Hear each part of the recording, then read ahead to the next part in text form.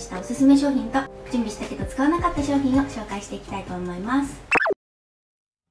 おむつは最初は本当にどれを買えばいいのかさっぱりわからないからとりあえずおむつって言ったらパンパスかなって思ってパンパス買いました。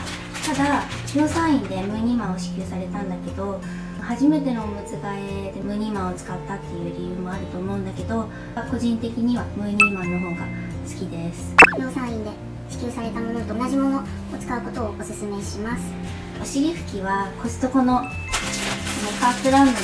お尻拭きがすごいおすすめです。日本のお尻拭きって結構薄くって小さいんですよ。だからうんちの時は本当に23枚重ねて使わないといけない感じなんですけどこのコストコのお尻拭きは1枚が結構大きくってしっかりしてて分厚いので重ねて使わなくても大丈夫ですで1箱9パック入っててうちは1年しないくらい10ヶ月ぐらいかな持ちます。逆さにしてストックしておくと使う時に乾くことがなく最後まで使えます。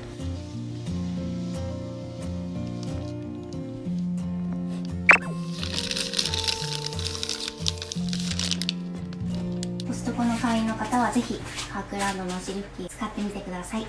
次にベビーパウダー濡れたお尻拭きでお尻を拭いてすぐおむつを履かせてしまうとどんなにいいおむつを使ったとしてもかぶれます。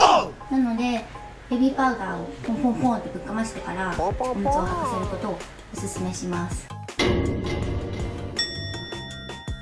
うちはこのジョンソンズのベビーパウダーを使ってます。パフがついてない状態で売ってるんですけど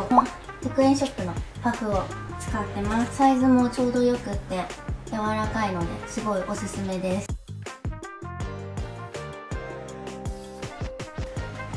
はい次。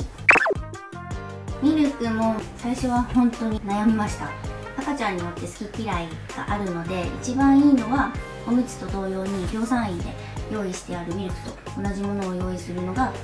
いいと思います。なので入院前に妊婦検診で助産婦さんと1対1で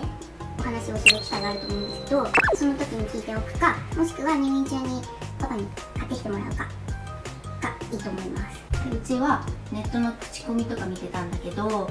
当てになりません。ネットの口コミを見てこれを買いました。これを飲んで2週間ぐらいして便秘になっちゃって助産婦さんに相談したらミルクによって便秘になることもあると聞いたのでまだ半分以上あるけど買いました。で次に買ったのがこちら。便秘が解消されたって書いてあるのを見てこれにしました。これはうちの子は全く飲んでくれませんでした。次に買ったのがアイクレオです。バクバク飲みます。1缶飲み終えて少し安い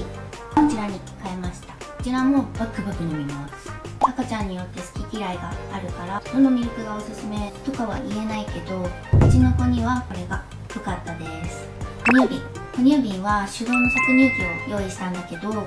それについてきたピジョンの母乳実感っていう哺乳瓶が一番良かったです。開け口も通常のものより広くって洗いやすいしプラスチック製なのでとても軽いしすごくおすすめです。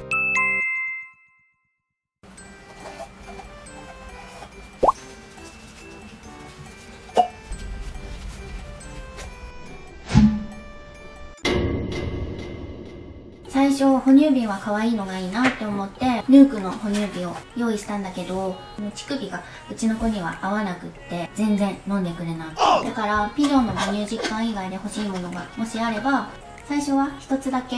用意して使ってみてから買い足すことをおすすめします。ピジョンの母乳実感は私が知る限り間違いないです。大きさは生後5ヶ月ぐらいからもう 200ml は飲むので 200ml がおすすめで3本はあった方がいいです。はい次は哺乳瓶の消毒。うちはコンビの除菌上手。を使いました。レンジで除菌するやつが一番楽でおすすめです。洗う時のスポンジはうちは100均のスポンジ。を使ってますこれすごいおすすめです洗剤はピジ。ョンの哺乳瓶洗いを使いました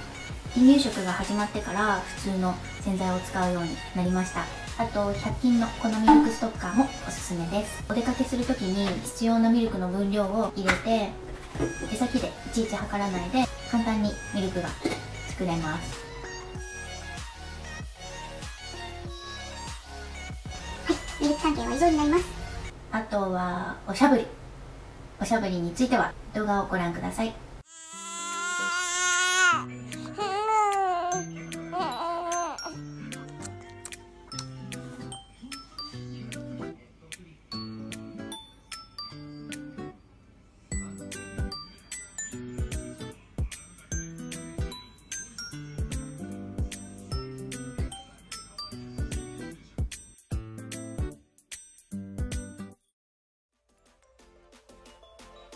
Yeah.